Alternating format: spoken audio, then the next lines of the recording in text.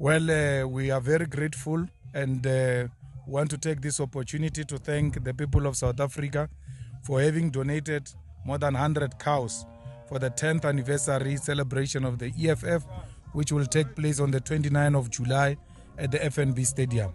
It's all system go. There is no hassle. We are now consolidating uh, the numbers in terms of pushing our people to attend the rally on the 29th of July. All preparations, the buses, the stage, the sound, uh, the cows.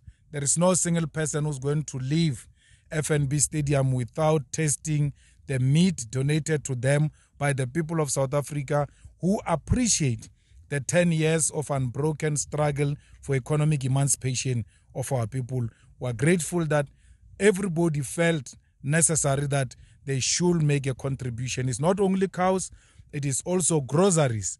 Uh, yesterday at the warehouse of the EFF in Midrand, groceries started arriving. People are donating all kinds uh, of uh, groceries to the EFF, and we're very grateful about that.